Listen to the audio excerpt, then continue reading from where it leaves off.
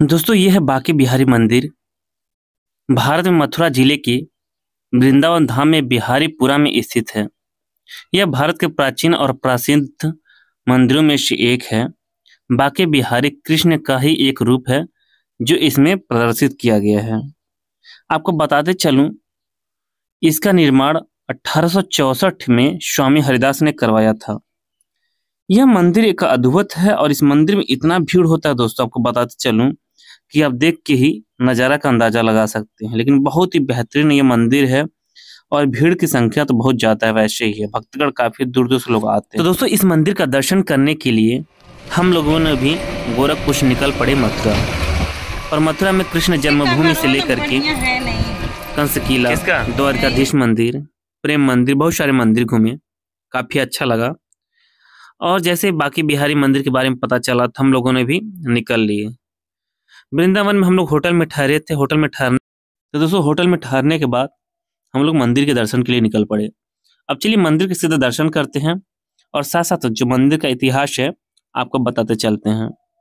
यहाँ पे देखेंगे अभी हम लोग बाहर की तरफ़ से जा रहे हैं। यहाँ पे बहुत सारी दुकानें सजी हुई हैं और काफ़ी मिठाइयाँ हो गया, प्रसाद हुआ यहाँ पे आपको देखने को मिल जाता है।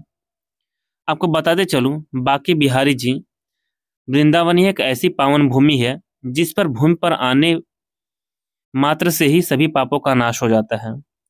ऐसा आखिर कौन व्यक्ति होगा जो इस पावन भूमि पर आना नहीं चाहेगा? तथा श्री बाकी बिहारी जी के दर्शन कर अपने को कृतार्थ को करना नहीं चाहेगा। यह मंदिर श्री वृंदावन धाम के एक सुंदर इलाके में स्थित है। कहा जाता है कि इस मंदिर का निर्माण स्वामी जी ने, जो राम जी के वंशज हैं तो सामूहिक प्रयास के बाद 1921 के लगभग में किया गया था। मंदिर निर्माण के शुरुआत में किसी दान, दाता का धन इसमें नहीं लगाया गया था। श्री हरिदास स्वामी विषय उदासीन वैष्णव थे। उनका भजन कीर्तन से प्रसन्न हो निधिवन से श्री बाकी बिहारी राज जी प्रकट हुए थे।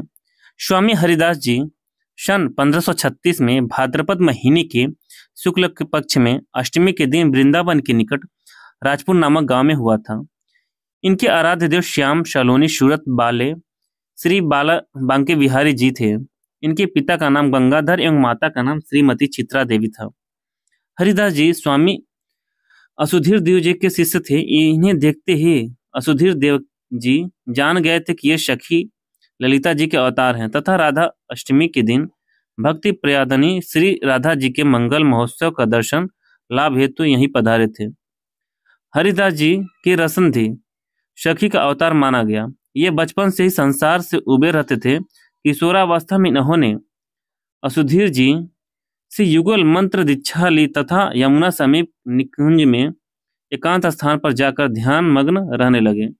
जब ये पच्चीस वर्ष के हुए, तब इन्होंने अपने गुरु जी से वीरत्वेश प्राप्त किया एवं संसार से दूर होकर निकुंज बिहारी जी की नृत्य लीलाओं का चिंतन करने में रह गए।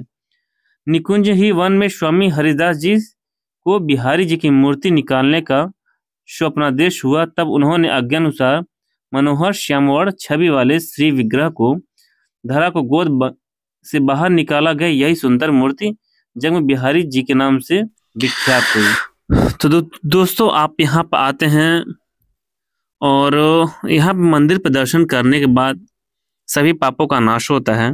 तो एक बार आप लोग ज़रूर यहाँ पे आइए और बाकी बिहारी जी के दर्शन कीजिए।